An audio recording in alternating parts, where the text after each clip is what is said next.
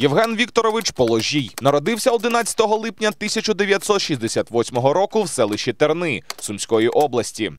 Син письменника і сам письменник, а також редактор часописів і журналіст. У дитинстві жив з бабусею і дідусем у Сумах, але мріяв бути саме письменником, за прикладом батька. Закінчив Сумський педагогічний університет. За фахом філолог. Журналістом став тому, що шукав роботу, хоча мріяв працювати за кордоном заради досвіду. На річницю Іловайського котла у 2015 році вийшла книга Положія Іловайськ. Історії, що не увійшли до роману, стали основою наступної книги «5 секунд, 5 днів. Вона про те, як склалися подальші долі прототипів його новел.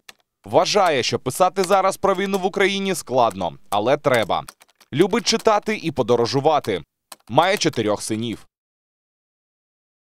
Вітаю шановних глядачів 9-го телеканалу. Мене звати Ольга Владімірова і в ефірі пані та панове. Сьогодні наш гість пан Євген Положій. Доброго дня. Доброго дня і вам. Ви письменник Так, і син письменника. так. Наскільки я зрозуміла, е, ви з мене є батьком... ще мама, вона юрист. Вона юрист, без мами нікуди. Е, Ви з батьком не надто е, тісно спілкувалися, наскільки я зрозуміла. Чи мав він вплив на вибір вашого заняття? Так, на жаль, я і батьки жили по-різно. Ну і самі батьки жили по-різно в Києві, а я виховувався бабусею у Сумах і дідусем.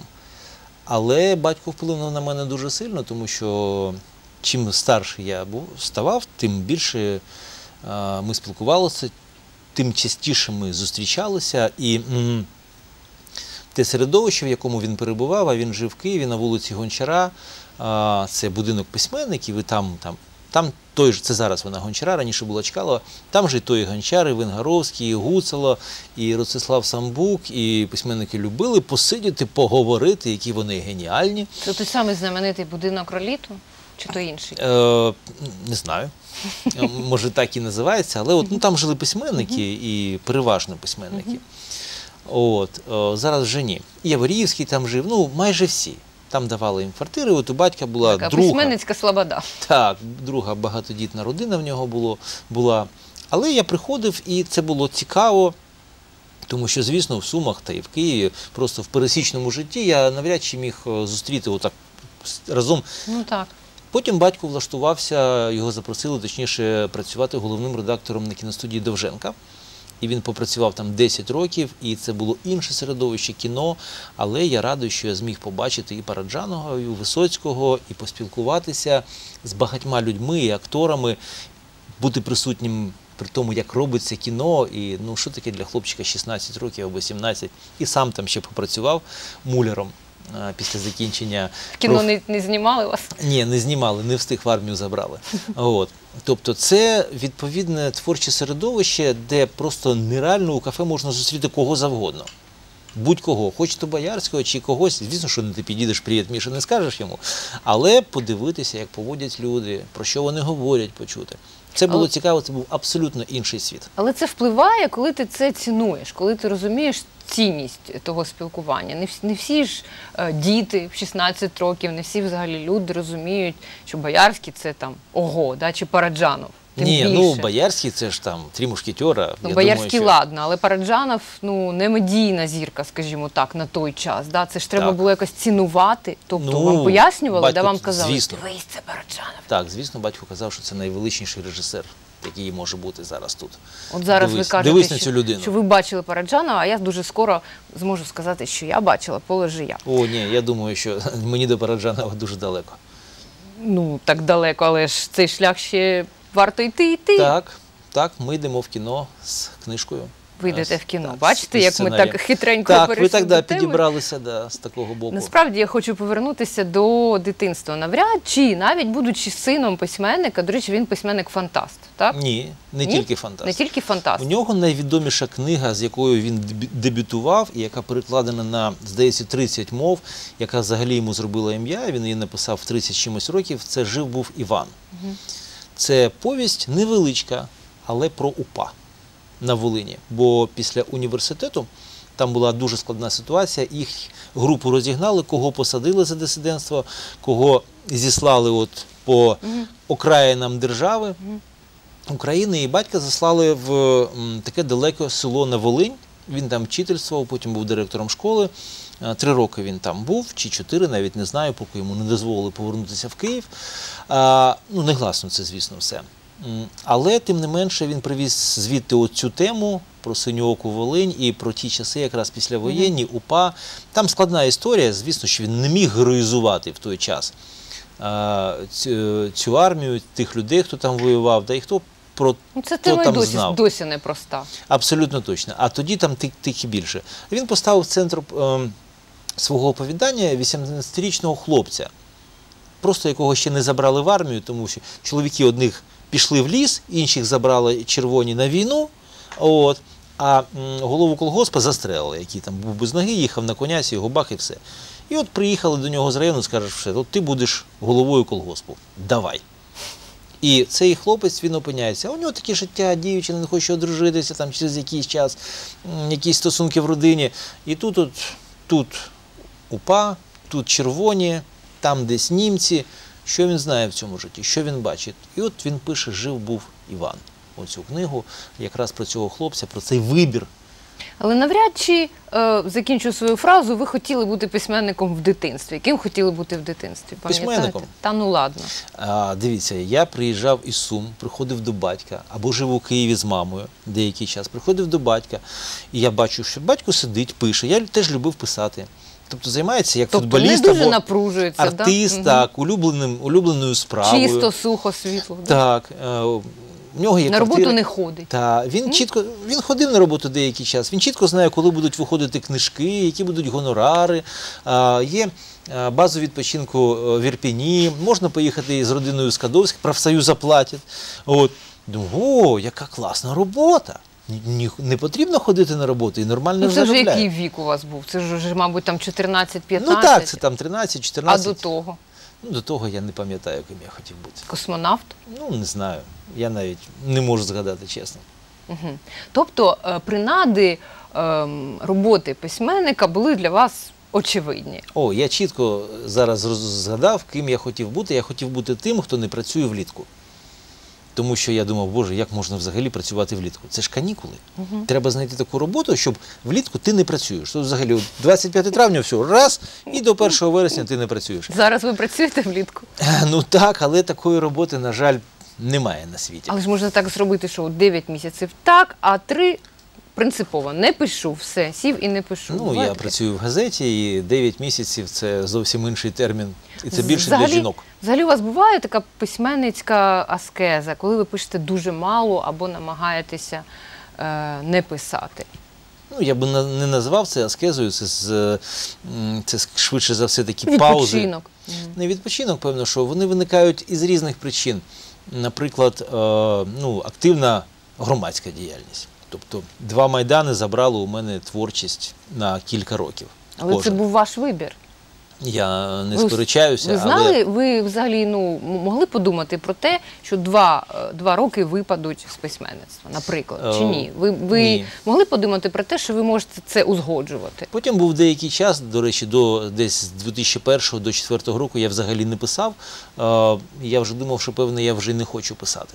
Ну, тому що ну, грошей це не приносить. У мене є робота,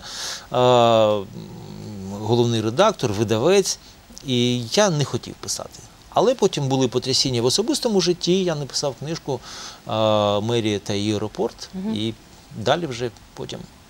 Більше спонукає писати негатив? Різне.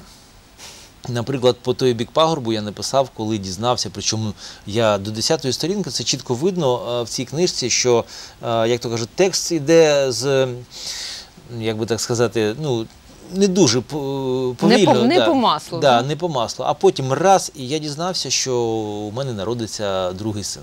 І це було таке натхнення, я просто А це для вас таке потрясіння? я був дуже щасливий. Взагалі діти для вас це щось важливе. найважливіше, що може бути. У мене четверо дітей, чотири сини, і я думаю, що для мене вони найважливіші. Я всі свої книжки віддам за це. Чотири сини це ще не кінець? Я не знаю, це ж як, як Бог пошле, як то кажуть. А ви знали, що будуть хлопці? Ви, ви були готові до того? Перед тим, Чи під час того? І перед, і перед. Ну, Ні. якісь відчуття були, Ну, що ми ви дуже- ні, ні. тато хлопців. Ми дуже хотіли м, дівчинку, щоб от останню, але ну так, А хто народився? устимчик. Устимчик. Народився він 23 червня, а 30 червня я здав е, в друкарню Іловайськ.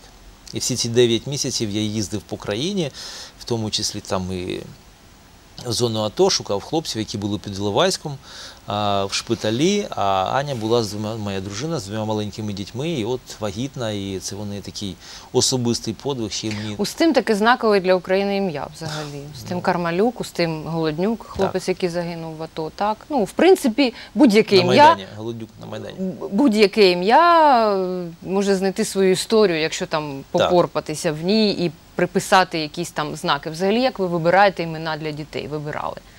Та хто знає, Просто якось по звуку. Так, десь, десь так, десь по відчуттю, по інтуїції. От. На Глібу 23 роки, Герману 6 і Жоржу, Георгію 4,5, і от Устимчик йому один рік і 4 місяці. А як старший син е, відреагував на наймолодшого? Чи він не дуже переймається? Він не дуже переймається. Він живе давно окремо, це від першого шлюбу дитина. Він живе окремо, і він такий спокійно до цього ставиться. От, він е, дуже любить комп'ютер, от, тобто він дитина такого замкнутого простору. Угу. А другий? А, дуже любить Устима. Дуже любить Устима. Середній трохи ревнує, та не трохи, а сильно для нього це проблема була, тому що він був найменший, найулюбленіший. От, а тут з'являється якесь дитя, якого носять на руках, і там Устимчик та все, бігають навколо нього. І, звісно, що Жорж відреагував дуже жорстко.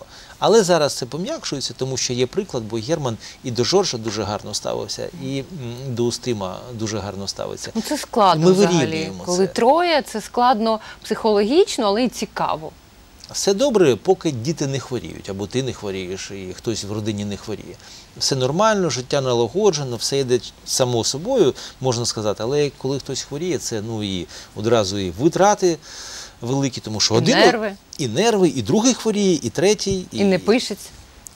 про це вже взагалі не йдеться. Взагалі, е, коли пишеться? Вранці, ввечері, вночі, коли? М, От ви, ви хто? Ви сова чи жавір? Я довго був совою і лягав спати не раніше там першою або другою. Це було нормою для мене. Прокидався пізно. А як з'явився Герман, то певно, що я прокидаюся там о 6 стабільно.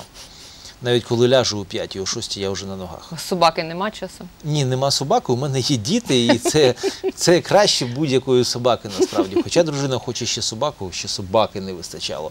От. Просто ти прокинувся, у тебе є година для себе. Ти можеш писати, можеш зробити зарядку, сходити, потягати там гантелі трохи, трохи сісти, подумати, спокійно поголитися, що ніхто не вхапає тебе за руку. Тато, тато, тато. От. Тобто, а потім вони ті. Але це ж класно, коли тато. А, Взагалі. Це класно, але ну треба ж і якось. е, Ви суворий тато? Та, ну, ні, я демократичний дуже. А, треба ж і подумати, да, зібратися думками, який буде день, що робити, там, ну і так далі, щось придумати а, цікаве. А діти потім уже прокидаються, і я їх, я їх прокидаю і в садочок, цих двох в садочок, а цей вдома а, полишається бандитізмом Про займатися. те, що ви патріоти, говорити годі, тому що книжки, які ви Не пишете. люблю це слово. Я теж не дуже, але, але воно є. Добре, ви любите свою батьківщину, ви за неї вболіваєте, так? Ви за неї переживаєте. Це, Так. мабуть, мало того сказати. Так, я вважаю, що ми окрема країна, ми окремий народ, ми самі хочемо жити, ми самі знаємо, як владнати своє життя, і рано чи пізно, а ми, ми дамо лад цій країні і цій території. І нам не потрібен ніхто для цього. Ми готові з усіма дружити, але, будь ласка, нас не чіпайте, ми самі виберемо, самі виберемо собі шлях. Ну, така моя позиція. Тобто я не бігаю в шароварах і з криками Слава Україні, а я прагматично до цього ставлюся. Ну і звісно, я люблю цю землю і свою малу батьківщину, і велику як Україну. От. Є такі відчуття. Мала батьківщина це Терни Недригалівського району, Так, правильно? так. Тобі Тернівський чи Недригалівський? Який? Тернівський. І, або Сумський Я думаю, що десь в глибині душі я отой маленький хлопчик. з Тернівки. Так. Так? Пам'ятаєте щось із самого раннього дитинства, з перших трьох років? Так, Щось, пам'ятаю. які, які такі спогади є яскраві? Там гусей не пасли, ні, як там? Чи Пас- ягнята, як Шевченка, ні? Ні, ні, ні, ні. Корів пас, але у мене найяскравіше враження. е, Зі мно... Мені подарували пса. Мухтара. Ага. І він Собака ріс... все-таки був у біографії. Так, він ріс разом зі мною. Я, е, звісно, як більшість дітей, хотів оселитися у нього в буці. Його відв'язали, і він втік. Ну, побіг гуляти. Я його шукав. І потім шукали мене всі. Тому що ну, потім знайшли, я знайшов його, а е, дідусь і бабуся, які жили в Тернах, вони знайшли мене. Але я, я дуже переймався. Це була така ініціація. Я шукав свого пса, який зник. Я ж не знав, що він прибіжить. А може з ним щось сталося. Я страшенно його любив. Ніде потім в книгах не з'явився цей Мухтар у вас? А, по той бік пагорба є такий роман у мене, і е, там терни, як анонімно, і пагорб, на якому ми збиралися, як символ часу. Тому що я вважаю, що дитинство це років до 7 до 10 це найголовніші події е, відбуваються з нами. Все, формують нас. Все інше це вже потім. Така закладка робиться, да. Психологи кажуть до 5 до 6 років, так? Що там якийсь зв'язок із космосом. Не знаю. От мені так здається, що з років до 10 ми отримуємо все. А так я е, жив до трьох років, потім і в Києві жив я е, якийсь час з мамою, і, але кожного літа я повертався туди. І ця от свобода, ця річка, цей луг, і ці всі клопоти по господарству. Це Ой, так вже- на річку захотілося одразу. Ви це так смачно дуже, розповідаєте. Дуже сильно відбулося на моїй свідомості. І оце ми нещодавно цим літом були. Ми зібралися всі, хто залишився живий. Це родина? От. Ні, всі хлопці, які А, там хлопці. Да, жили на кількох вулицях, і ми там ходили разом і грали в футбол. Ми Я- зіб... Як ви думаєте, які знакові речі е, зараз запам'ятовують ваші діти, які важливо їм давати? Тому що саме зараз у них той процес, про який ви говорите, закладка, да? Але вони живуть в місті, все-таки, у них інше трошки дитинство, більш сучасне, скажімо так, більш прагматичне знов таки. Ну, да? так. Щось із тієї дитячої свободи ви їм можете дати, запропонувати? Ну, ми на дачу їздимо до дідуся, там є свобода, але все ж таки, ну і діти є, і цього року вони почали гратися. Мені здається, що найбільш конструктивний оцей мікс, коли ти і в столиці, бо я часто на канікулах, ну не часто, кожні весняні і е, осінні канікули я їздив до мами в Київ, і я жив в Києві і навчався Мгм, кілька мгм. років в Києві. Тобто ви от. бачили різне життя, І скажімо так. провінційне містечко, як Суми, ну і от таке село. І я побачив все. От я думаю, що це от дуже гарний такий момент для формування характера, світогляду, побачити різні рівні життя, різні стосунки, стосунки такі різні, різну архітектуру, ландшафт, обличчя, як спілкуються Ну, для люди. письменника, для журналіста це взагалі важливо Це взагалі виходити для- за певні рамки, Так. тому що інакше ти не розумієш нічого і не напишеш нічого путнього. Але як воно у дітей виокремлюється, от, от, Побачимо, світи, це що з взагалі них виросте. цікаво. Так, що виросте, те й виросте, що закладете, то, й- то й буде. Е, дві ваші книги, які народилися під впливом подій в Україні. Взагалі є дві думки, що про це треба писати, і треба писати зараз. Навіть три думки є. Е, є друга думка, що треба е, закінчити цю справу, яка у нас зараз триває, і вже перетравити все це, і вже потім це писати виважено. Бо те, що пишеться зараз, надто емоційно і може декому здається поверхневим. І третя думка, що взагалі зараз про це не треба писати, бо це мода. Що ви скажете? Я дотримуюся всіх трьох думок одночасно. А, той, хто не може написати зараз, хай чекає, коли все закінчиться. А, і може він напише якусь епічну, глибоку річ, і всі її будуть читати. Це буде такий епічний розлогий роман, і це буде прекрасно. А, І це теж треба. і це теж треба, і можливо.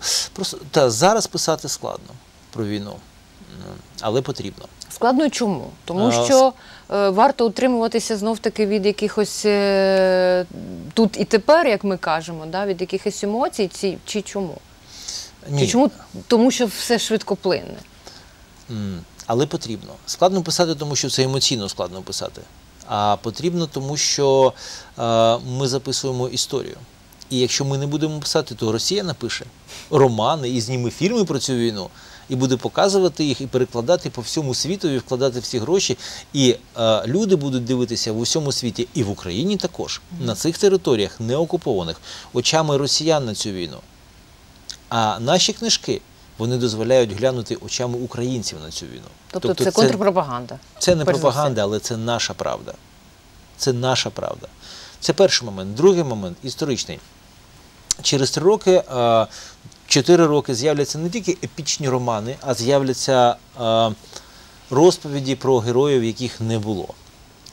Командири батальйонів, та, е, офіцери генштабу, вони миттєво виростуть великих військовоначальників і будуть розповідати, як вони, значить, там здійснювали геройські е, різні подвиги і так далі, і так далі, як вони командували фронтами. Ну, подивіться на генштаб, підготував звіт про е, до двохрічної Іловайської трагедії, до другої річниці. Ну там чотири хвилини розповідається, який генеральний штаб чудовий, і як всі підрозділи тікали.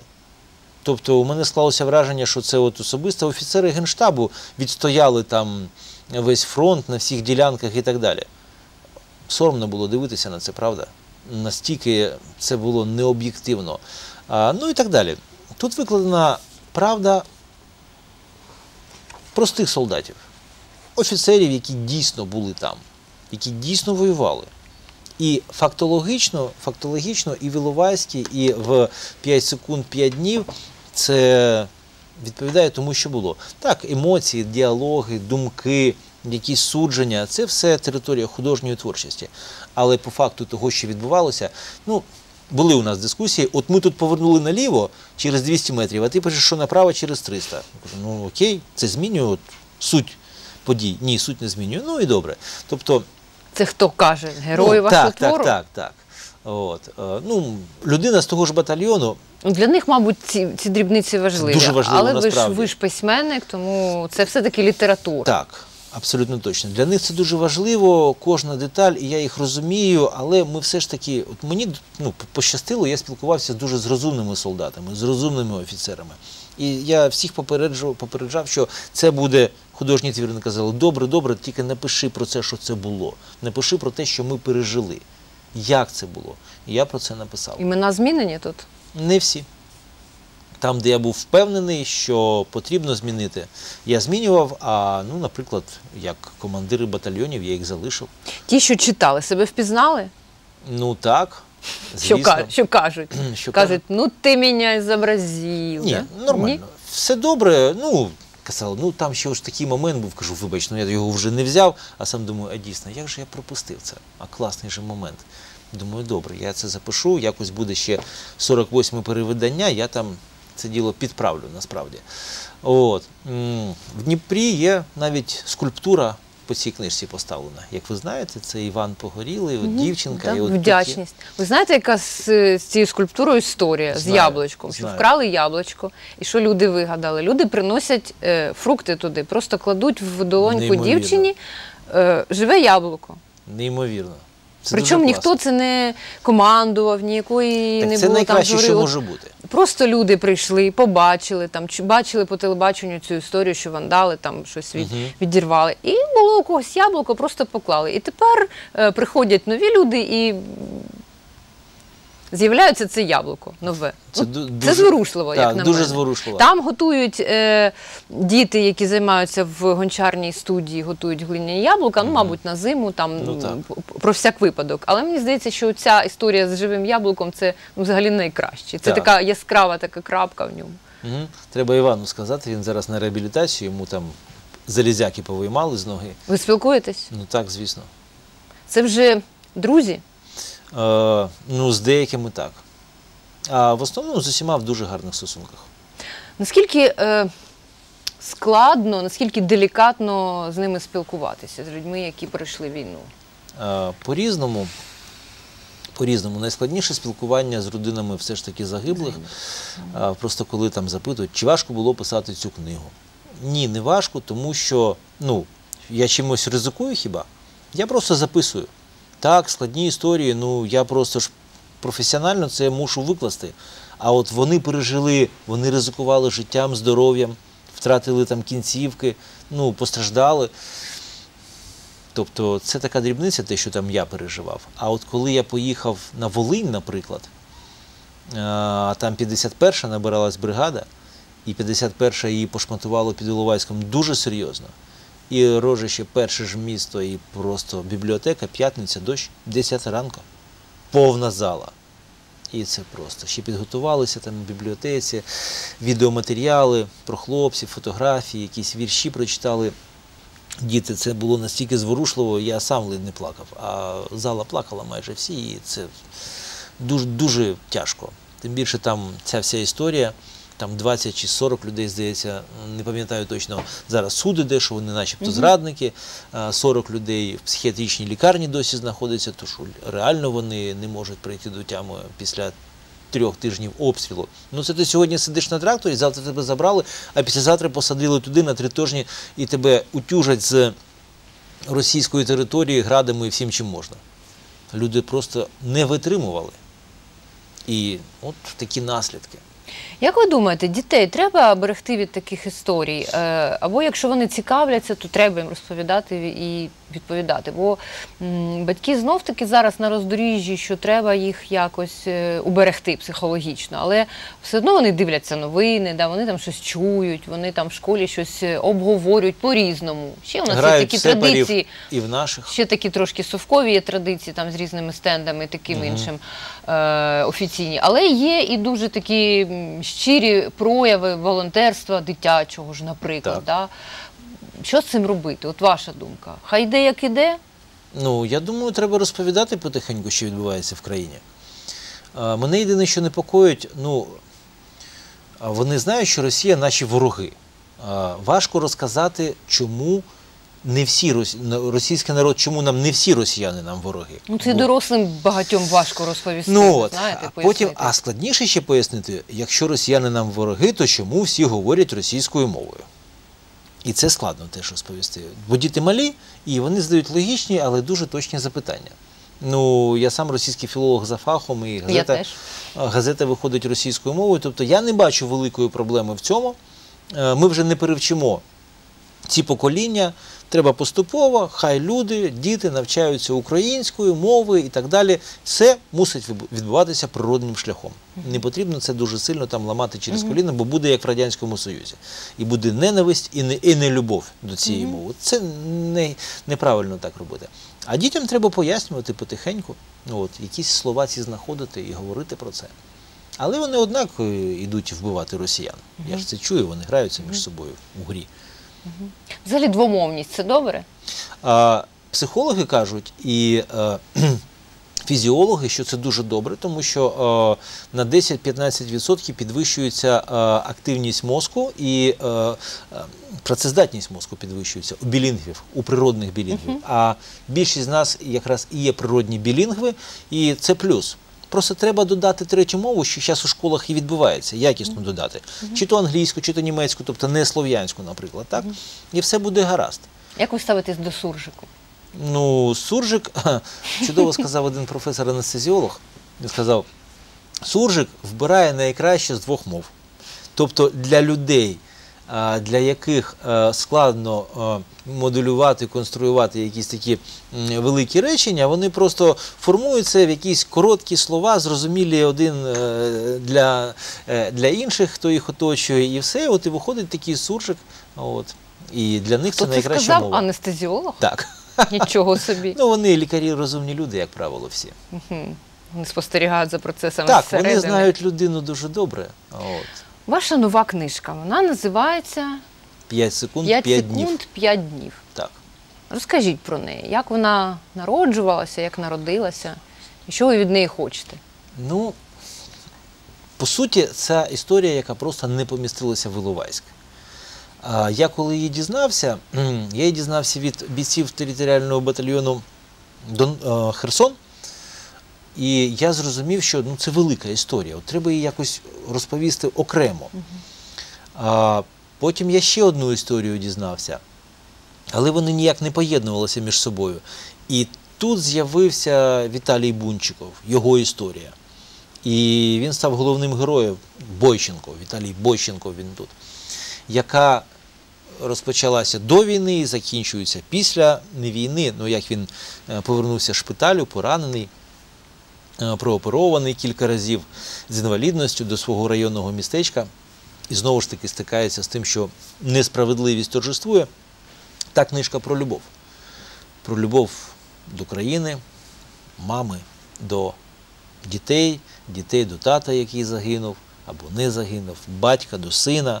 Тобто ця книга про любов, тому що з любов'ю ми народжуємося, з любов'ю ми одружуємося і Живемо. живемо. І коли ми помираємо, нас з любов'ю проводжають. Ну, наразі ми до цього прагнемо цього, так?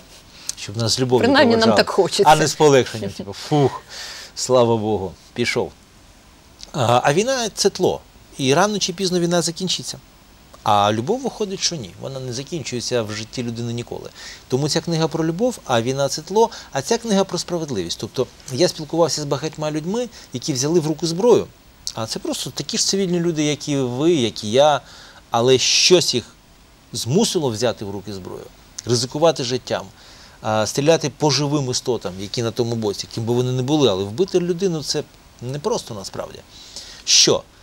І ця пружина називається справедливість. Ці люди прагнули справедливості. Вони йшли за свою правду, за свою країну, за свій дім, але пружина, яка їх виштовхувала, називається справедливість. Це ті, про кого кажуть е, загострене почуття справедливості. Так, і Ми, ми всі пішли. прагнемо справедливості, але я не знаю, чи зможу я вистрілити в людину. Ну, от. Може, воно мені настільки загострене. Ну, справедливість і постріл в людину це якраз дуже погано корелюється між собою. Але я ж кажу, що це пружина, тому що це поштовх, який був. Тому що людина йде на війну, вона а, інколи навіть не розуміє, що їй прийдеться когось вбивати або її можуть убити. Це так дуже абстрактно. А ви називаєте те, що відбувається війною чи АТО? Ну, по От факту, ви це, для себе. Як ну, це війна, звісно. Взагалі А- термін АТО. Як А термін? АТО це дуже прийнятний термін для України у стосунках із Росією, тому що якщо б це була війна, то ми всі були мобілізовані, і ті, хто керують військоматами, вони б керували обласними адміністраціями. І судячи з того, як ідуть е, іде призов, то справи б йшли значно ну, гірше. тобто це питання термінів. Це питання термінів, це питання м, юридично е, законів, по яким живе країна. Розумієте, віддати владу у руки військових, ну, уявіть собі в 2014 році. Що б це могло бути? Влада Ну, в руках військових. Ну, це дуже б складно було, я думаю. От, нам і так було непросто. Е, Тому е, все правильно. Формально все правильно. По факту це війна, формально це антитерористична операція. Мгм. За межами цієї історії, е, яка зараз надрукована, вже, вже йде в люди, щось залишилося. Після цього залишилося 5 секунд 5 днів. Так? Все. Щось іще є на Е, продовження. Ні, я не хочу більше писати книжку про війну. Наразі от Не, не, хочу чи не можу. і не можу, і не хочу.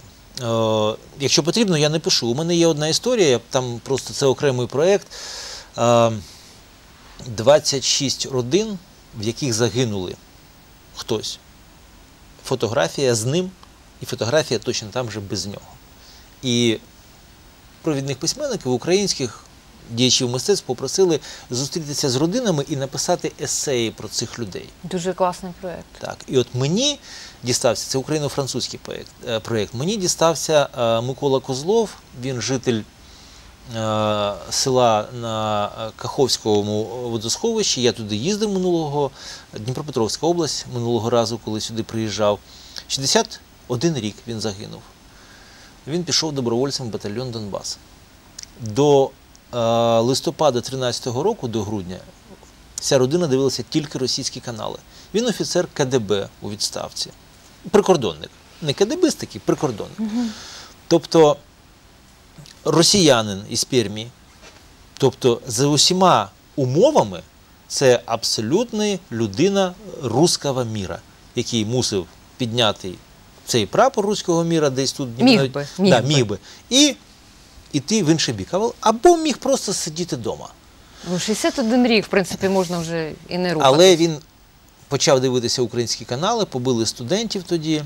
Е, Він, і от у нього теж ця пружина, справедливість, сколихнула його. І він поїхав на Майдан і потрапив на 19-20 число. І він побачив, от як цих хлопчиків вбивають. Ну і для нього це було потрясінням. Це вже детонатор, вже не Так. пружина. В березні його одного сина мобілізували, у нього троє дітей. І він пішов, знайшов координати Донбасу, поїхав в Донбас 4 травня 2014 року, а 23-го в Карлівці його вже вбили. Він загинув. Хто придумав цей проект? А, Мар'ян, Мар'ян, я навіть Мгм. присяж... присяжнюк, здається, Мгм. не, не можу зараз Мгм. точно сказати прізвище цієї людини. Класний проєкт. Це він придумав і французький фотограф, українець, він у Франції живе.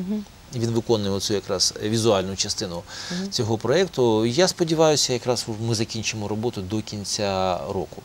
Ну це те, що торкає дуже взагалі. Так, ну а, Це було Це буде фотоальбом, Це взагалі дуже плюс, така болюча так, тема. І я бачив ці фотографії, він присилав уже готові. Ну, це, це б'є. Оце порожнє місце в родині, так, на фоні там якоїсь кухоньки, якоїсь там простенької, або ще чогось. І от була людина, так, жива, енергетична, світла і нема. І ці історії е, обіцяють прикласти на 12 мов, і що ця виставка, фотовиставка ще буде, пройдеться там від Стамбулу до Нью-Йорку. Тобто, і це буде от такі от е, показово, то що Україна, яка вона є, які люди воювали, чого вони воювали. Що це не тільки хунта, фашисти, бандерівці, там Західна Україна. Це вся країна, по суті. Вся кажете, країна. не тільки хунта, у нас є хунта. Звісно, а як же ж? Да? Ви та я це ж хунта. Ви сказали, що- можливий кінопроект Я на основі сподіваюся. ваших е, книжок. Так, Уже тут- є якісь розмови щодо цього? Так, розмов вже багато. Я сподіваюся, в Є грудні, в грудні перейти до написання сценарію, тому що це все ж таки окрема робота. Мій товариш гарний Андрій Кокатюха кліпає ці сценарії просто наліво і направо. Він справжній професіонал. Він як книжка вийшла, він її прочитав, він зразу каже, життя і смерть Сергія Кабана, я не пишу цей сценарій. Я говорю, стоп. Я певно, що сам спробую. От, тому я зараз готуюся змінити професію. Я хочу бути не перебіжчиком з художньої літератури, а от самому створити адаптацію. Тому що от Кохатюха зробив там століття Якова.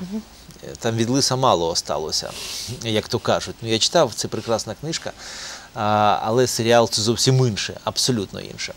От, тому я хочу все-таки сам, хочу сам зробити адаптацію цієї новели.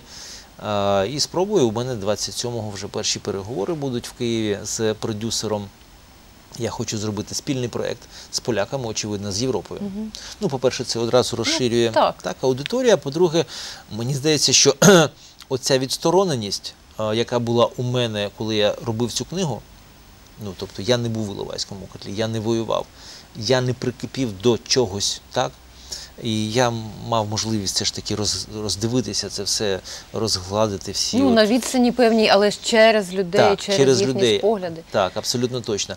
І тут, мені здається, потрібен режисер, який гляне не через от призму патріотизму. Тут потрібен фільм, це потрібна історія, яку б дивилися всі. Розумієте? Просто історія. І а от ця історія, вона вже про Україну і війну в Україні. Тобто, щоб це не був е, проукраїнський продукт, щоб це був пролюдський продукт. Правильно. І це був да, лю, е, гуманізм з великою Але з поляками у нас зараз не дуже. Все Да, вони буде- зробили цей фільм Волинь. Е, у кого у вас?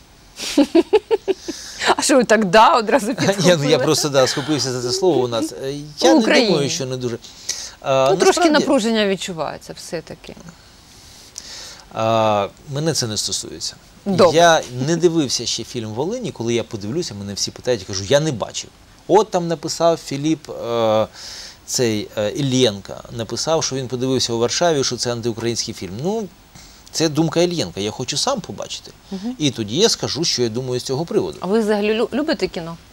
М, Та, я люблю кіно, і мені подобається те, що роблять поляки, і у поляків дуже багато класних режисерів. Але завжди буде суперечка, що краще книжка чи кіно. Дуже рідко кіно краще за книжку. Бувають такі випадки, але рідко. Мене це не обходить, чесно кажучи, що буде краще. Е, Мені потрібно, щоб е, про це подивилися люди, щоб це був Той, гарний не художній твір. особливо. Ну, добре, хай книжку прочитають 100 тисяч там за 5 років. Ну, це буде прекрасно, але Хай. кіно подивляться 5-10 мільйонів. Ну, тобто це більш доступне все це мистецтво. саме більш масове із іскусств, як сказав товариш Ленін. Да, да, да. От і ми можемо ну показувати кіно. Книжку треба перекласти. От час її польською перекладають, англійською перекладають. Ну це рік. за рік можна зробити кіно, змонтувати і вже почати показувати. І люди будуть ходити і дивитися на це, створити е, яскраві образи і так далі, і так далі. І показати всю палітру, всю глибину цього конфлікту, розумієте? Ви такий легкий на підйом, я дивлюся. Сценарій, а, добре, кіно, прекрасно. Четверо дітей, та легко. Ви, ви в усьому такий? Та певно, що ні. Я колись, коли було багато вільного часу і не було війни, я багато мандрував, їздив автостопом там по Індії, по Бангладешу, Китай, там, Південно-Східна Азія. Дуже любив мандрувати. Зараз це недоступно поки що, поки йде війна, на жаль. Що може вас змусити покинути Україну? Щось може змусити? Та війна, я думаю, що війна. Небезпека дітей. Так, звісно. Тільки Я це. віддам за безпеку своїх дітей все, що завгодно. Але хай цього не станеться краще. Так. Письменник має бути начитаним, на вашу думку. Знаєте, є різні випадки.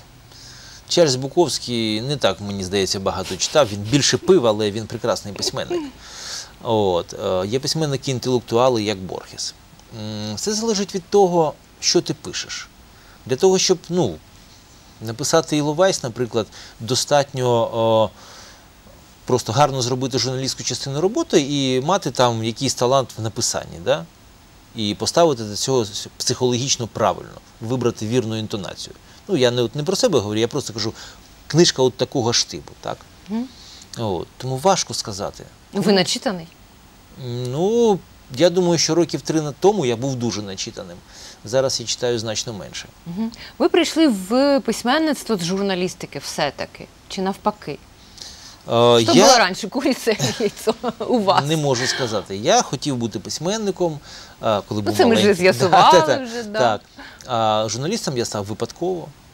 Просто шукав роботу, і я став головним редактором додатком там в газету «Уікенд», а потім все почало так розвиватися, що я відкрив свою газету буквально там за півроку. І ну от і став випускати газету і залишився в Сумах, де я не збирався залишатися. Я ніколи не хотів жити в Сумах. Чого? Не любив це місто. Ну, це провінційне місто, воно мені Хотілося в столицю Так, чи в Бангладеш?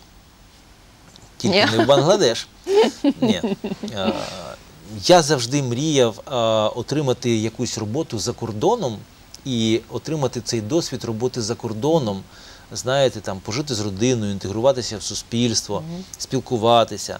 Ну, це така, знаєте, є у кожної людини мрія. Це було б дуже цікаво, наприклад, для мене. Тому ну, що да, ти як, коли як подорожуєш. зараз каже молодь, такий челендж, так. Да, коли ти подорожуєш, ти там пожив три дні, там три дні. Ну тиждень добре, ти там десь на Гуаз отримався. Але однак ти за два місяці об'їхав всю Індію, ти їдеш і їдеш і їдеш, ночуєш в потягах або в автобусах, і ти не Але встигаєш. ти все одно не живеш життям тої країни. Так, ти турист.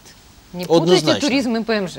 Так, абсолютно точно. Тому от була б така мрія, але я думаю, що вона не здійсненна. Ну, може, хтось із ваших синів її здійснить, і ви Може. будете у нього запитувати, ну як це, синку? Але це буде їх життя. Ошо казав, що діти це як стріли, а батьки це лук. Ми натягуємо їх, стріляємо, і вони летять.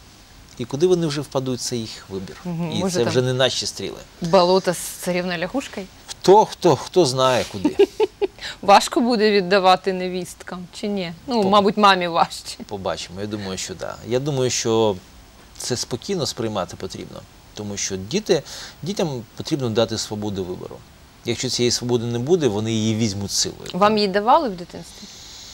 Знаєте, я десь років, може, 17 жив уже сам майже, тому що бабуся з дідусем їздили в Терниті, ж там була старенька бабуся, треба було доглядати, і я за виключенням зими вже жив сам, потім була армія, я повернувся, і та ж історія продовжилася насправді.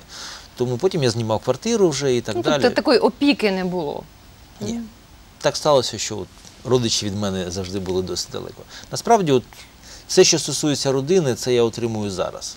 Коли у мене велика родина, маленькі діти, я вже досить такого солідного віку чоловік, і цей час я прийшло Ви до в розквіті, що це ви Ну, кажете? В солідному солідному, розквіті, так, в солідному добре, розквіті. нормально. Так. От ви багато спілкувалися з військовими. Е, Який для себе висновок, може, ви зробили? В чому сила і в чому слабкість нашої армії? Ну, в принципі, ми можемо багато перелічувати там слабкості, які ми бачили всі за два роки, так, як працювали волонтери, там не працювали якісь міністерські е, речі державні. Але в принципі, чого Ну, більше, сили чи слабкості? У цій книжці якраз а, Є відповідь? є відповідь, тому що герої приходять, вони добровольно мобілізовані. Тобто це люди, які прийшли в військкомат і сказали, ми хочемо служити в ЗСУ, не в добровольчому батальйоні. Ну, є такі люди за психологією, вони в армії служили, чи офіцери, чи там е, Ну, сержанти. потрібна система. Да, от вони знають, що вони, як ця система, вона дурна, але вони знають, як ця дурна система працює. От. Але це не анархія. Ну, у них приблизно такий погляд на ці речі. І от вони добровольно мобілізовані, приходять на базу, а от, а в казарму, а там ні вікон, ні, дв- ні дверей, ні ліжок, нічого немає. І вони так сіли, такі сидять, ну там хтось почав виступати, і та, типа, а що ти ожидав? На чого, на що ти чекав? Ти да, знав, куди йшов. Дивись, в медицині порядок у нас? Ні. В освіті порядок? Ні. Дороги нормальні? Ні. Е, в, у владі порядок? Ні. В селі порядок на селі? Ні. А чому в армії мусить бути порядок? От чому? Навпаки, там ще гірше, бо це була закрита система. Розумієте? Тобто це абсолютно чітке віддзеркалення суспільства. Те ж саме можна сказати е, про армію взагалі, е, узагальнюючи от, е, проекцію на країну. А наша армія сильна людьми, індивідуальностями. Як і вся Україна. Так, і от є погана система, медицина, але є гарні лікарі, дитячі лікарі. Якщо тобі пощастить, що тобі він дістанеться, домовишся, якось там буде щось. е, Безлад в освіті, Да. але є Але класні якщо- вчителі. Абсолютно точно. Тобто система сама поганенько, але працює, але поганенько. Да? І в цілому вона нездарна. Але є люди, які в цю систему, в цій системі знаходяться, але вони е, самі по собі е, цінність. Якщо ти потрапляєш. Тільки наші Атланти і Каріатіди, мені здається. От. Те ж саме і в армії. Є офіцери середньої ланки, старшої ланки, нижньої ланки, є сержанти, є люди, які служили. Суддя Забара апеляційного суду, тут є новела суддя Забара і Соломоний Шишарик. Це Ігор Забара, суддя апел- апеляційного суду Сумського. Він служив в Афгані. І новела починається з того, як він потрапляє в засідку в Афганістані. Ну, строковик. Він мінометник. Він іде в військкомат, він добровольно мобілізується, хоча йому кажуть, там Ігор, там, слухай, от хочеш в охорону сюди, якщо ти хочеш бути героєм, ми тобі зробимо. Він каже, слухай, я вмію з мінометів з усіх стріляти. Я знаю, що я прийду туди, я навчу всіх. Я був, це 92-га бригада, був у них в щастя. От, він на позиціях показував мені а, і розказував, що коли він прийшов, то дійсно з міномета то троє вміли стріляти на всю роту. І вони всіх навчили. От. І от він відслужив своє і більше переслужив. Але цінність таких людей, і коли вони потрапили в оточення, там були і капітани, і ще хтось, інші офіцери, але виводив всіх, хто по суті забара, звичайний сержант. Тому що це авторитетна людина, людина і так далі. От на таких людях тримається наша країна скрізь. Нам На автосервісах, де завгодно. нам вистачить таких людей, щоб перемогти. Ах, ми не маємо вибору, я скажу так. І ці люди не мають вибору. Саме тому ці люди стають добровольцями, волонтерами, ці люди йдуть у владу, ризикують репутацію, тому що вони знають, якщо вони попадуть в ту іншу систему, яка зараз панує в Донецьку і Луганську, їм немає там місця. Їм навіть немає місця в системі, яка зараз створена в Російській Федерації. Вони будуть змушені переступати через себе, як Марк Захаров, інші актори, режисери, е, артисти, рок-зірки, яких ми так любили, і вони говорять такі речі на голову, які нам не налазять. Що приїжджає це мурло і стріляє по наших по живих людях з кулемета, бойовими партнерами, е, патронами. Ну це нормально. Та з будь-якого боку це ненормально. І ти не будеш дивитися вже фільми з його, за його участю, якщо в тебе нормальна психіка, тому що він по твоїм е, людям стріляв. От, от і все. І тому ми, ці люди, да, ми це дуже добре розуміємо. Я включу себе в склад цих людей. Нам немає місця в тих системах. нам не хочеться ставати негідниками. Тому ми ризикуємо і ставимо все на те, щоб перемогти. На цьому поставимо сьогодні крапку. До нових зустрічей. Я думаю, що з наступною, з наступною книжкою, яка буде не про війну, а може, Хотілося б. може якась дитяча буде, або може буде У про. мене навіть назва є для дитячої книжки. Так. Равлик і журавлик. Я вгадала, буде дитяча. Колись буде, я сподіваюся. Клас, я люблю вгадувати. Дякую дуже. Це був Євген Положий, журналіст, письменник і дуже щира людина, яка не боїться говорити на болючі теми, але вірить в те, що все у нас збудеться. Так. І дитячі книжки теж. Дякую дуже. На все добре. До побачення.